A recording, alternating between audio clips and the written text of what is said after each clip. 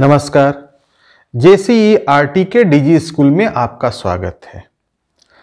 आज के इस कक्षा में हम लोग पढ़ेंगे वर्ग पाँच के गणित के पाठ, आयतन, यानी वॉल्यूम के बारे में।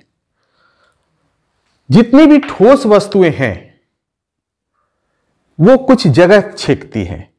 जैसे ये हमारा डस्टर है तो ये इतना जगह छेक रहा है। और भी अगर हम कुछ लेते हैं, कोई भी ठोस वस्तु तो वो भी कुछ जगह छेकता है। जैसे ये एक ब्लॉक्स का समूह है तो ये भी कुछ जगह छेक रहा है।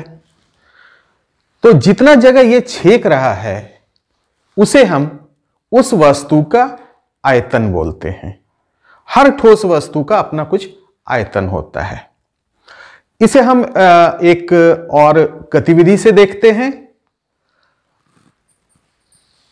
ये आप देखें, इसमें हमने पानी भरा है, इस फ्लास्क में यहाँ तक है। ये मैं चिन्ह लगा दे रहा हूँ, ये यहाँ तक है।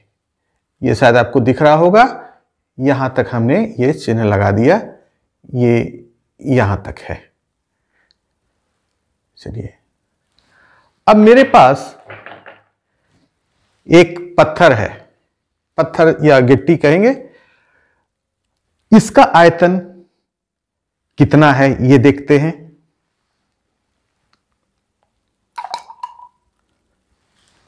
आप गौर करें, ये पानी कहाँ आ गया? इसका स्तर, इस पानी का लेवल यहाँ आ गया।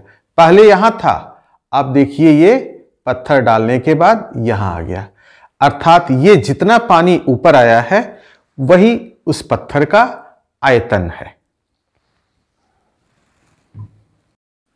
आयतन की मानक इकाई है घन इकाई।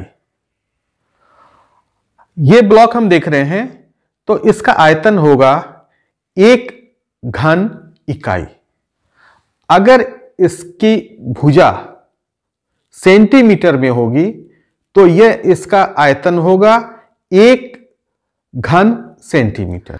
अब हम एक आ, ये घन ले रहे हैं जिसकी भुजा है तीन आ, तीन इकाई है। अर्थात इसकी लंबाई भी तीन है ऊंचाई भी तीन है और चौड़ाई भी तीन है।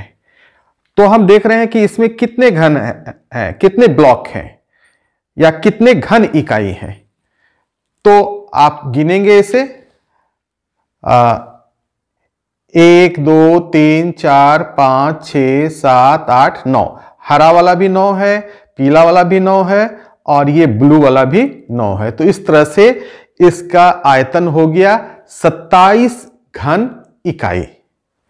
तो घन का आयतन होता है भुजा गुना भुजा गुना भुजा। और घनाभ का आयतन ये होता है लंबाई गुना चौड़ाई गुना ऊंचाई। अब घन के आयतन से संबंधित एक प्रश्न हम देखते हैं। उस घन का आयतन ज्ञात कीजिए, जिसकी एक भुजा की लंबाई दो सेंटीमीटर है। तो घन का आयतन। अभी हमने क्या फॉर्मूला देखा था? भुजा गुने भुजा गुने भुजा। तो इस प्रश्न में इसकी भुजा, इस घन की भुजा क्या है? दो सेंटीमीटर। तो ये हो गया दो गुना दो गुना दो। अर्थात दो गुना दो चार दुना आठ।